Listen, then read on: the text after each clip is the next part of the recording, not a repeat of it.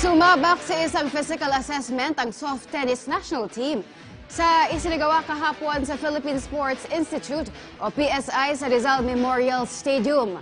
Bukod sa kanilang skills ay sinubok rin ng PSI ang kanilang strength at conditioning sa pamamagitan ng anthropometrics, grip strength, flexibility, muscular strength and endurance, upper and lower extremity power at iba pang agility protocols.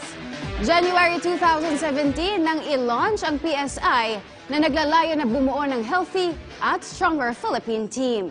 Ang isinagawang test ng PSI ay nakatulong naman sa physical at mental development ng netters para sa papalapit na Southeast Asian Games.